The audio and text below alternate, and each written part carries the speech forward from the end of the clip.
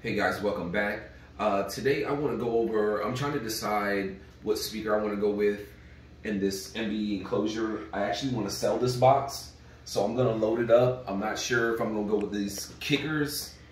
These are the Comp R 8 inch or the Sundown E-Series.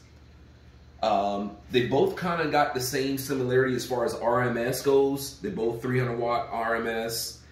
Um, the kicker is a pretty well designed speaker.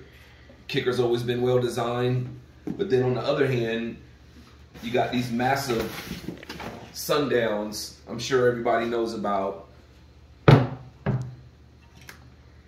the differences night and day. Um, the X-Max on these are 14 compared to 10 and a half on the kickers. Um, like I said, night and day difference on the size of them. Totally massive. This that sundown is massive compared to that that kicker. But just because it's more massive doesn't mean that it's going to sound better or not. You just got to put them in there and get your best judgment and go from there. So next thing I'm going to do is I'm going to do a free ear test on both of them and then see how they sound, and then I'll make my decision on which ones I want to throw in this box. So stay tuned. I appreciate you guys.